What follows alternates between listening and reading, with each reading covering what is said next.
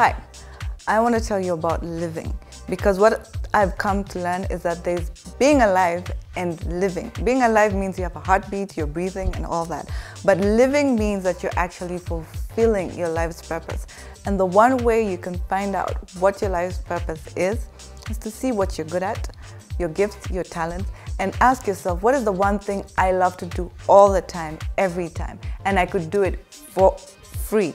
That's probably where your purpose lies. And then go out and do it.